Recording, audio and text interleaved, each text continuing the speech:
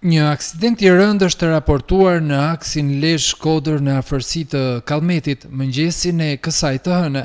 Mësohet se si pasojë e aksidentit janë plagosur shtatë persona, nga të cilët pesë janë në gjendje të rëndë. Mes të plagosurve në gjendje kritike është edhe një fëmijë i mitur, një burrë dhe dy gra. Të plagosurit janë dërguar me urgjencë në spitalin e Lezhës, Policia ka mbërritur menjëherë në vendngjarje dhe po punon për sqarimin e rrethanave të këtij aksidenti të rëndë.